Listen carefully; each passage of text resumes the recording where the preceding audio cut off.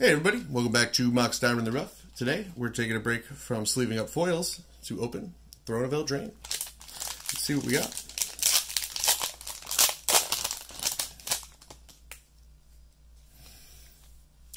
Ogre Errant, Maraleaf Rider, Reave Soul, Raging Redcap, Prophet of the Peak, Tall as a Beanstalk, Witching Well, Faerie Guidemother, Crystal Slipper, Scalding Cauldron, Spectre's Shriek, Clockwork Servant, Steel Lance, and a Clack- Clackbridge Troll.